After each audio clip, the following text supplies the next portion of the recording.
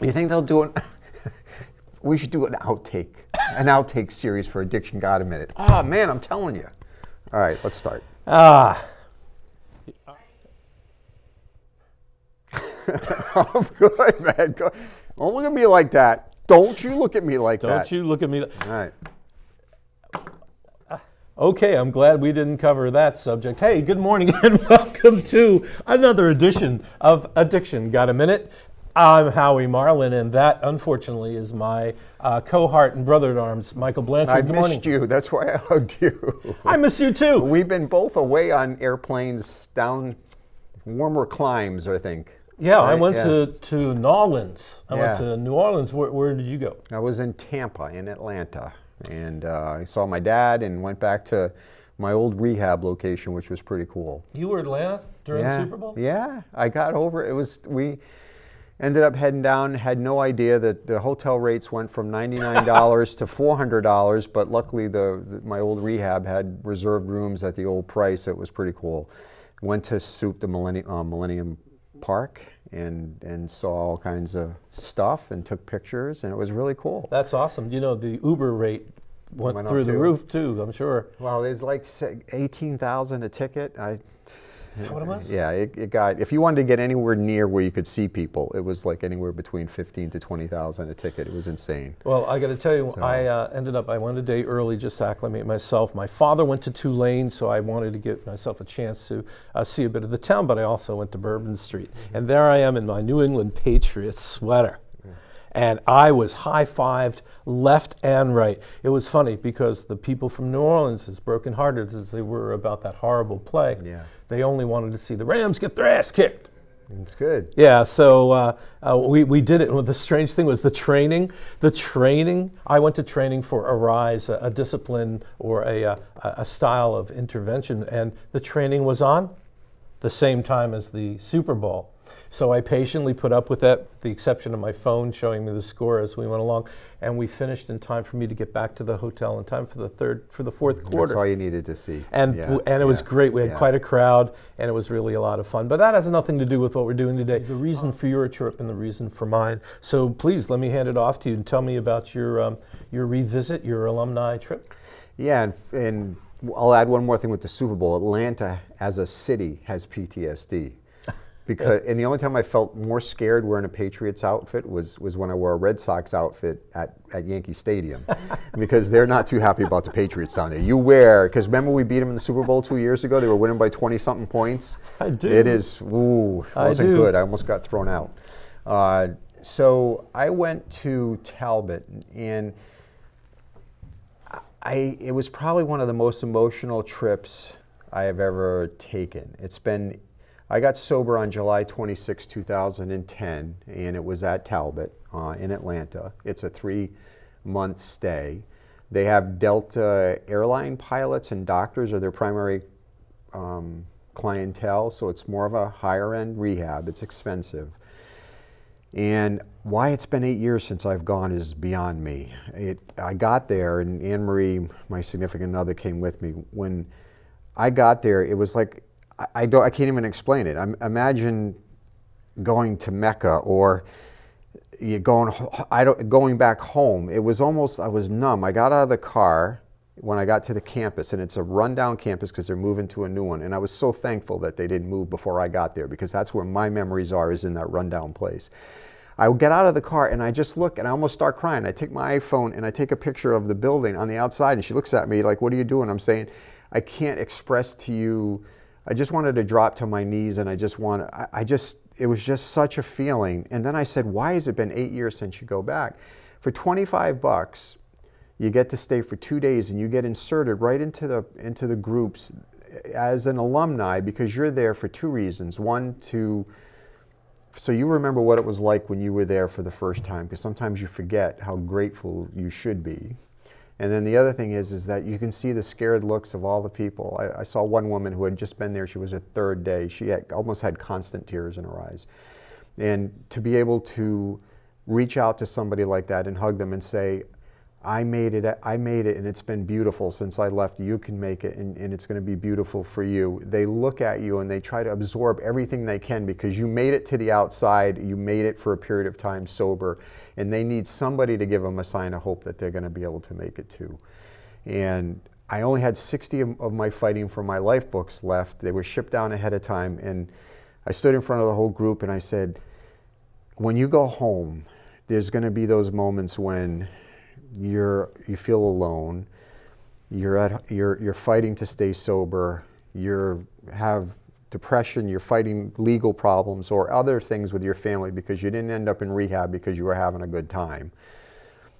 And what i hope is that this book when it sits next to your bedside or wherever you put it that there's, there's energy. I put energy in the book so that when you are home and you don't have anything left to get you through, maybe you'll touch that book and that energy will enter your body and you'll stay sober that night. That's what I want for you.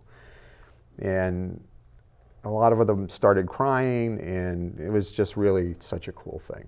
It sounds yeah, it, it sounds cool fantastic. Thing. Yeah, yeah. It is amazing. There's there are tactile references to soothing imagery. Yeah. And yeah. What you've done, and one of the reasons why I really enjoy you being part of this discussion, is you you have imbued your recovery through your photography, yeah. and your, the photography, the book is a com combination. You have the visual and references words, and yeah. the meanings that you find or other people find behind them, which is stated in the texts of the books.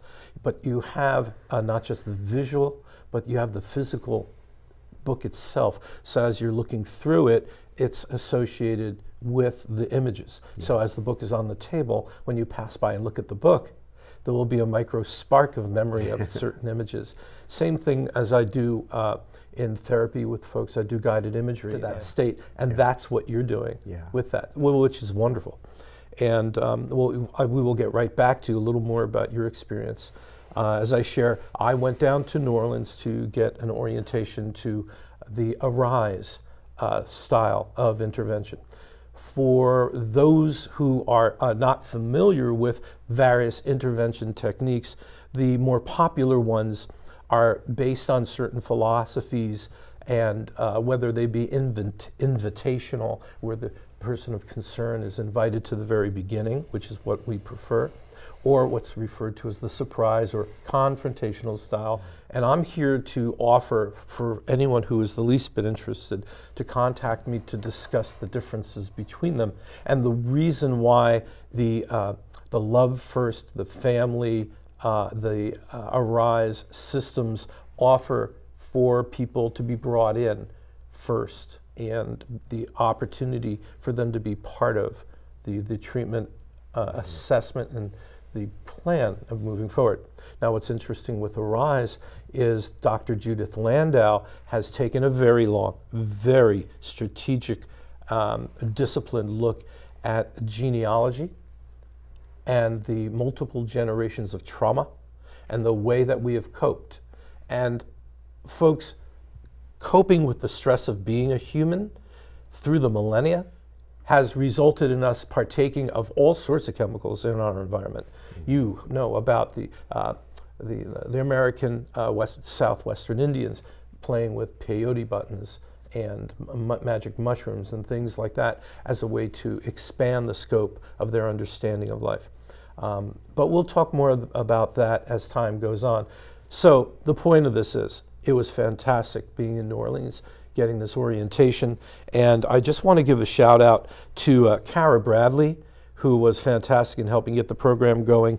Um, Megan Musgrades, who was a tremendous help. And of course, Anna Moreno, who was just precious in the understanding of the discipline. So my point being, there are different ways to look at it. Being there are many ways to help people motivate to take action. And let's keep in mind, that's the principle to help people motivate themselves to take action. Yeah. We're only conduits to that. And in the Arise program, I love the fact that it's actually manualized. It's all best practices. You, basically follow the protocol Follow the and let yeah. the family do Yeah. the work. By the way, we'll talk about multi generational trauma in the days to come. Before we go any further, I want to bring up a book that I read called Chasing the Scream, and we'll have a, a little more information about this by Jonathan Hari. I have been reading the book over the last couple of weeks, and it chronicles beginning of the drug wars in our society back uh, in the very early uh, teens and 20s. And uh, we'll talk more about that later, but I highly recommend it if you haven't uh, known about this book.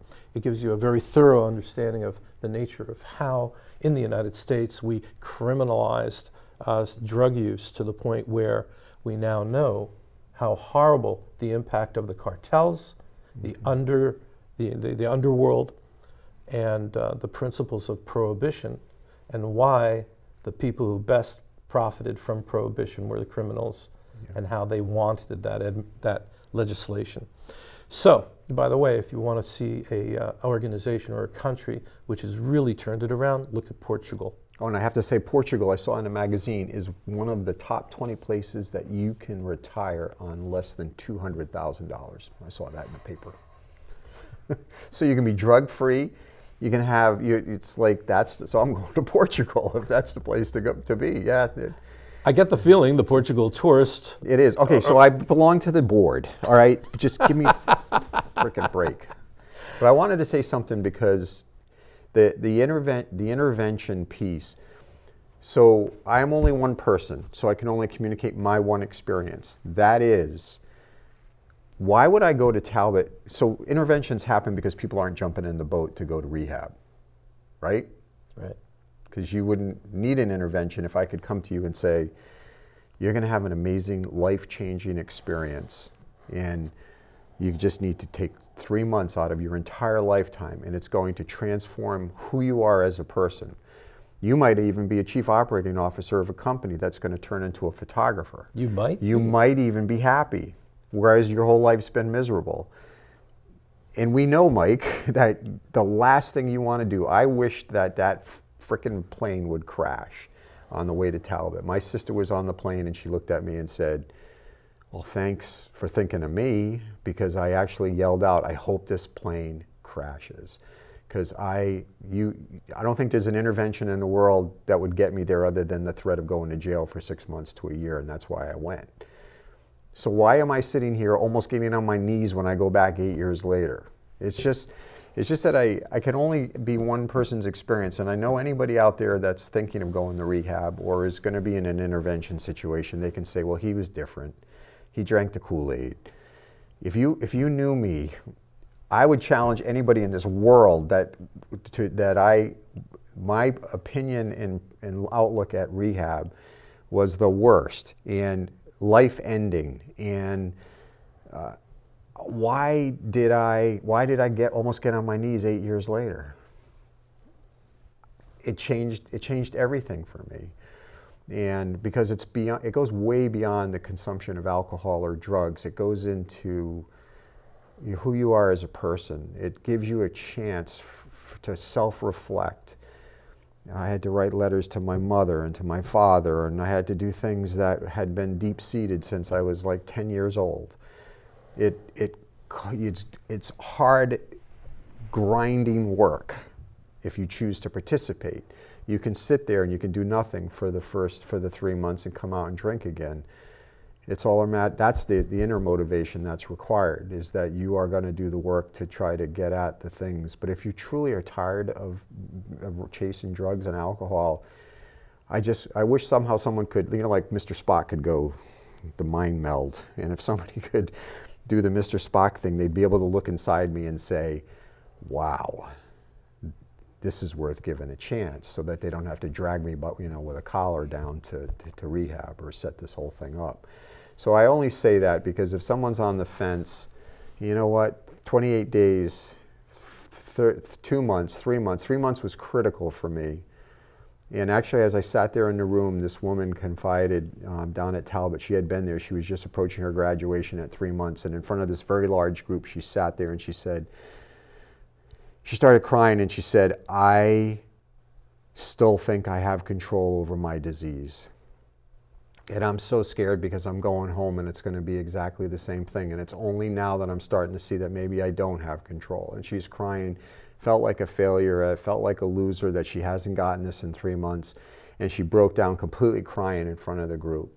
And so I just looked at her and said, Well, why are you crying now? Are you it seems like you're, you're understanding here in this moment. And she says, yes. She says, but I've been here for three months. I wasted all those three months. I said, zero wasted time.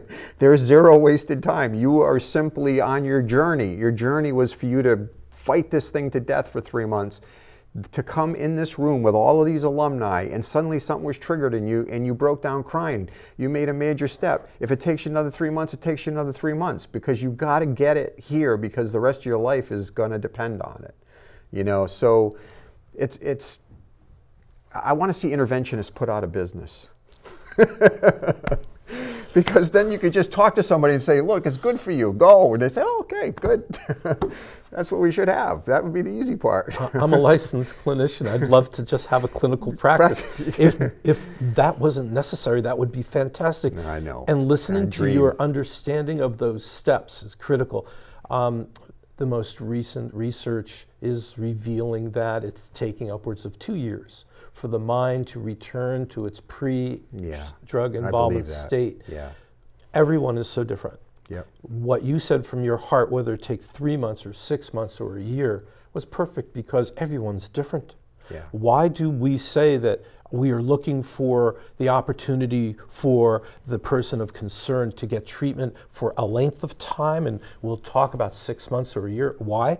We don't know how long it will take for that person to round the corner. I have worked with people who, on the ferry, leaving the island to take them to treatment, have come to the conclusion that their life needs to turn. They then decided not to go inpatient, but to do intensive outpatient mm-hmm. and have remained sober to this day. When you have made up your mind, it's going to happen. The big question is when? Have you had enough? When are you ready? And so that's why this we keep that open. But it's fantastic that you went down for that alumni revisit. Yeah. You know, clearly there's just so many components to this and folks truly don't understand. The nature of the chemical system, which defines the addictive process, boils down to a warm hug. I'm sure you've heard that description. Mm-hmm. The addictive process is the inverse of the trauma. It's the forgetting of the crisis and the pain. It's the warm hug, which people often describe as the feeling when they have either done a bump of fentanyl or heroin or taken a nice big long swig of booze. That's the reason for doing it, to get the dopamine flowing, which is the joy chemical that's normally uh, you know, triggered by the brain itself for things like a warm mother's hug or a, a loving embrace and things like that. And because of trauma and pain, because of situational crisis, we want to relieve ourselves of that. Yeah. And when we do relieve, we get that warm hug. Who doesn't want that warm hug? And, and it's and I think we were talking about it before the show that there was a there was a physician who spoke, and I've heard this. I got I have my master's in psychology. I've heard this a thousand times. And I understand the chemical processes that take place that drive addiction. But for some reason, what he said really connected with me, and that is that is that that primitive part in your brain that was originally the predominant part in your brain, which, which gives pleasure uh, when you do the right thing. So I drink water, I feel pleasure. It's a good thing. If I don't have that pleasure, I may not drink water and I'll die. So it was all tied to what you had to have to sustain life, right? Mm-hmm. I got to go eat food. So if I'm dying of thirst and I'm a caveman and there's like 700 Tyrannosaurus rexes sitting out there between me and the pool, but I know I'm going down, I'm going to go through whatever I need to to get to that water. It is that kind of a primitive need to get that pleasure of the consumption of the water because it's correlated to sustaining life. And it's done without forethought without forethought. That's right. It was originally kind of just sitting in there. As we grew the prefrontal cortex and the cortex over that little primitive part, somebody forgot to put the connections in. We can't force it to do what it doesn't want to do. It sits there as this primitive thing that drives you to the point where you'll risk being eaten by dinosaurs. It's often referred to as the lizard brain. The lizard brain. So, so if you know, so and as an alcoholic, I need to understand this so that I don't think it's because I'm a poor character, because I don't have discipline, I don't have will, I'm just a bad person. It's important for me to understand that my little thing inside my head is now turned on by a drug or an alcohol, which amps up the dopamine millions of times more than what the water would have done. And what it does is it wants that primitive thing doesn't know any better. It says, I need more and more and more and more, and therefore I'm going to drive you to do just insane things in order to keep it there. Just like walking through those dinosaurs. I'm going to drive you to do insane things like get arrested three times for drunk driving in, in three months. I'm going to push you. Now, that doesn't say that once you recognize that, you don't have the responsibility because there are ways to control and to move forward through taking the, the material away by sobriety and so on and uh, getting out of isolation. All those tools will get you this. So you have a responsibility to recognize you have that disease, but now it's not a character flaw, it's a disease, and now I'm responsible for getting better. And it just, I don't know what it was, it just really clicked with me, that power of that drive, and that's why people will sit there. We've had some deaths here with a needle in their arm, dead in the car, because that drive to seek that relief will bring you to death. And um, it, it, just was a powerful way to think about what we face uh, if you have that genetic uh, component, which is a significant component, that your brain turns on like a gas on a flame, whereas somebody else's might not, you know. All right, so that's all I have to say. oh, I doubt that. Sorry. But you hit the nail on the head repeatedly about certain elements of this process. And I really do hope that uh, folks that you, you, can follow us on Facebook and Twitter and Pinterest and whatever else we're doing will soon be available on the, the, the more popular um, new media sites for information. Uh, we'll be working on providing short clips of clear definitions of terms, treatments, different modalities, facilities. So the idea is for you to be able to go to our site and get some guidance to start the process. It's not important which style of help you get. It's important to get the help. Because if in your heart you have found that it's time to help your loved one, if you have found it's time for you to get help, then we would like to be part of the wave of clarity, the wave of sanity to help turn the tide of this horrific scourge. Now, we don't have too much time, but I'd like very much for you to shout out to the folks who were important to you in your trip down south? Yeah, the, the people at Talbott, it, there's uh, quite eight years is a long time, and there's a lot of turnover. But the key people in my life, Angie B, Angie Branch, and Ben Wilson, people who were there, it meant so much to have them still there and to have the inspiration of people who donate and give their lives to the patients that are there. It was really incredible. And I want to thank my Anne Marie for going with me, and she participated in the couples groups and all the other activities, and it was really it was really a wonderful trip. And um, uh, I'm not waiting eight years for the next one. Oh, that's wonderful. Yeah. What we will list the uh, the website at the end of the show, but do you happen to know it off the top? Yeah, Talbott Recovery Campus in Atlanta. I think it's talbotrecoverycampus.com. But just Google Talbott Recovery Campus. They're moving into a brand new facility it's incredible compared to the old beat up one that I love so much. I might go back there by myself from now on and just forget and go because I like it there. But they're going to be, it's going to be an incredible thing. If people want to get, um, anybody can go. They have a young adult program. It is more expensive, but it's a unique model. I know we're almost out of time, but the model depends on treatment in the facility, but also you live freely in apartment complex. And there are rules, and you're out in society. You're not just it's, I think 75% of the healing takes place in the brotherhood of people back in the apartments, facilitated by the treatment in the facility. It is a unique model that is less shocking when you go home than when you're let out the door from the rehab and you're out back into the world. You've been in the world all along when you're in this model. And um, it's, it's unique. So I'd be happy to talk with anybody that has an interest in, um, in trying to send either a young adult or, uh, or, or anyone there. I'd be glad to help. It's wonderful that you went. This would be referred to as an intensive outpatient program, an IOP. I guess so, but it would be. It, but you live there. You you part of your room. You have room and board tuition. So I, how, what do you call that? I mean, if I guess if you were all stuck in one building, doesn't matter. To be a part of it, you have to live in the residences. You have to submit to drug testing. The residences searched on a regular basis. You have rules about having to travel in packs of three. You can't go anywhere by yourself. It, I, it's priced like it's an inpatient because you you can't just come in from your home. You have to uproot, you have to be in that facility and abide by all those However, rules. it sounds like an intensive outpatient program.